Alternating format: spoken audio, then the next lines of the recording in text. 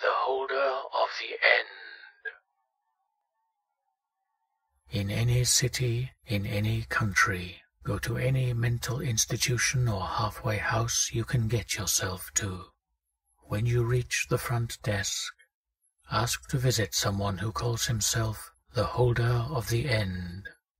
Should a look of childlike fear come over the worker's face, you will then be taken to a cell in the building. It will be in a deep, hidden section of the building.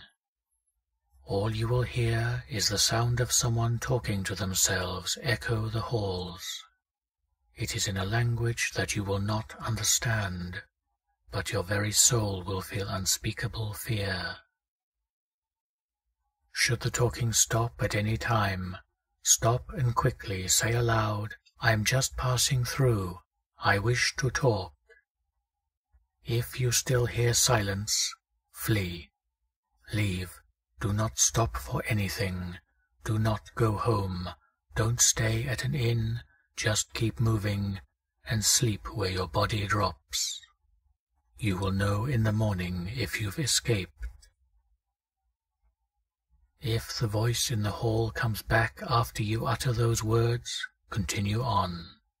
Upon reaching the cell, all you will see is a windowless room with a person in the corner, speaking an unknown language and cradling something.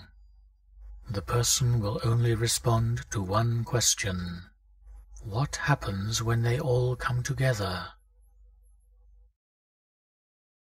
The person will then stare into your eyes and answer your question in horrifying detail. Many go mad in that very cell, some disappear soon after the meeting, and a few end their lives. But most do the worst thing, and look upon the object in the person's hands. You will want to as well. Be warned that if you do, your death will be one of cruelty and unrelenting horror.